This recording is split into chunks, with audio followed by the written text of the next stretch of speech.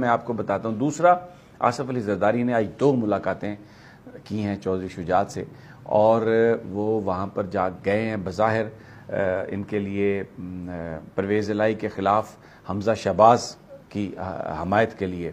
लेकिन जो असल, अब जो चौधरी शुजात ने इनकार कर दिया, साफ़ इनकार कर दिया, उन्होंने कहा कि जी, आप मेरे से ये बात ही ना करें, जो पहली मुलाकात थी। उसके बाद फिर दोबारा ये चले गए और वहाँ पर इन्होंने कहा कि मैं मोनस इलाही और चौधरी परवेज लाई से मिले बगैर वापस नहीं जाऊँगा।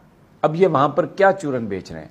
ये कह रहे हैं कि मोनस चौधरी परवेज लाई सबके वज़ीर अला बन जाए। चौधरी परवेज लाई इमरान खान की जो जमात है उसके वोटों से आप इलेक्ट हो जाएँ, लेकिन उसके बाद आप असम्बली तोड़ने की बात ना करें और हम आपको गैर मशरू तौर पर सपोर्ट करेंगे तो आप हाउस को चलाएँ, वजारत आला को चलाएँ और तमाम सियासी जमातें आपके पीछे खड़े होने के लिए तैयार हैं। परवेज लाई साहब ने और मोनस अलाई साहब ने कहा कि हम इनसे नहीं मिलना चाहते। जरदारी ने कहा कि मैं मिले बगैर नहीं जाऊँगा।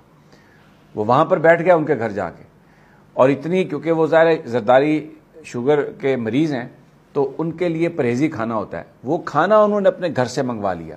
घर से भिंडी पक के आई, चौधरी परवेज लाई और चौधरी शुजात के घर। वहाँ पर बैठकर उन्होंने खाना खाया। उन्होंने कहा, जी, मैंने नहीं जाना। मैंने मिलना है चौधरी परवेज लाई से और मोनस लाई से, जिस पर चौधरी मोनस लाई और चौधरी परवेज लाई को अपने घर से निकलना पड़ा।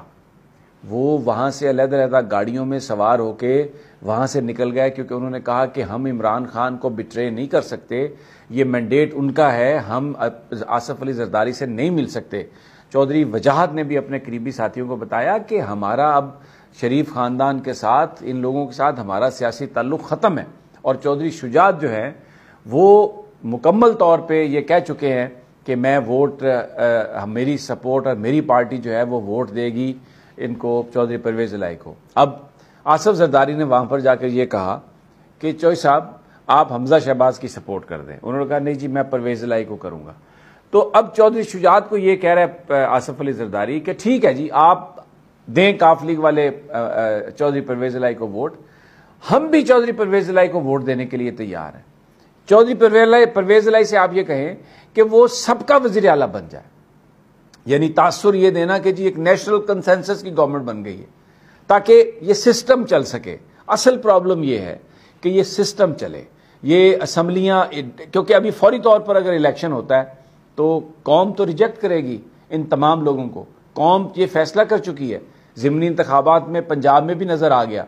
और ये कराची के इंतबात भी इसीलिए इन्होंने पोस्टपोन किए बल्दियाती भी और जो